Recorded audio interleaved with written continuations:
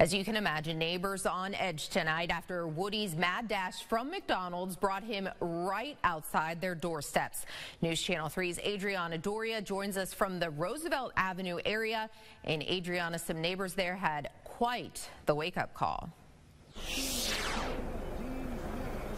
Martina, the community here and neighbors here are left shaken up, thinking about the fact that something like this could happen right outside their doors now. I got a chance to talk with some of the neighbors here, specifically a couple who had a terrifying way to wake up.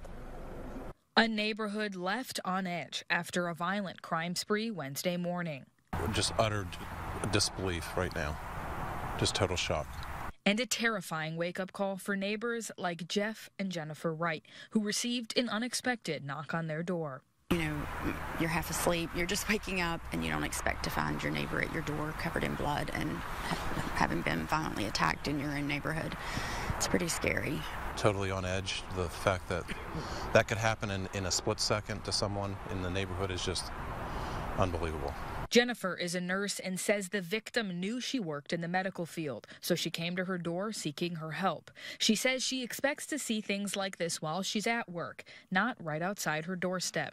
Something like that, that traumatic, um, coming to your door is, it's just unthinkable to think that, you know, we walk in this neighborhood and that could just happen anytime. So it's yeah. scary. Police say Percy Woody cut three people with a box cutter at a nearby McDonald's before making his way to Roosevelt Avenue, where he cut another woman outside of her home at random. It's a scene the Wrights say is not normal for the area. I mean, the thought that my wife or kids could have been out going to, you know, my wife could have been going to work, taking my kids to school, um, and something like that could have happened uh, is just uh, unfathomable. The Wrights are left worrying for their family and questioning their daily routines. And it could have been me walking out to my car to get in my car and go to work. So it's it makes you think, and it makes you you know want to just be on alert all the time um, at, at what could happen just out of the blue for no reason.